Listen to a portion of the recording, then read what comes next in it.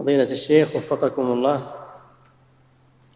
يقول ما حكم زيادة كلمة ولك الشكر عندما يرفع الإمام ويقول سمع الله لمن حمده لا لا يجوز هذا لأنه ما ورد ما نزيد شيء من عندنا.